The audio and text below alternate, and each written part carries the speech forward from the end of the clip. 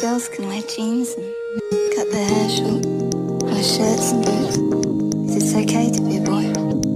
But for a boy to look like a girl is degrading. Because you think that being a girl is degrading.